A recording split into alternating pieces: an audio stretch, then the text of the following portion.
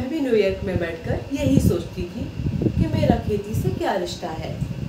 लेकिन मुझे इंडिया आकर समझ में आया कि पास्ता खाने वाले बड़े आदमी से लेकर चावल खाने वाले गरीब आदमी का इस खेती से रिश्ता है।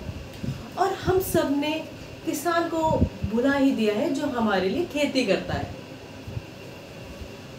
खेती, धरती और इंसान के बीच एक खूबसूरत रिश्ता है। खेती एयर कंडीशनर रूम में बैठकर कानूनी बिल बनाने जितना आसान नहीं है। खेती, धरती और इंसान के बीच एक खूबसूरत रिश्ता है, जिसका विज्ञान एक किसान ही समझ सकता है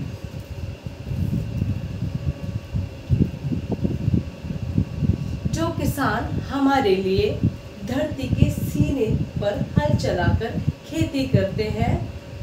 जब वो आत्महत्या करते हैं तो कहाँ होती है हमारी मीडिया? और कहाँ होते हैं हमारे न्यूज़ चैनल?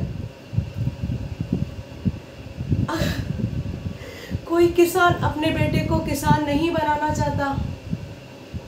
और अगर ऐसा ही चलता रहा तो खेती किताबों के इतिहास में नज़र आएगी।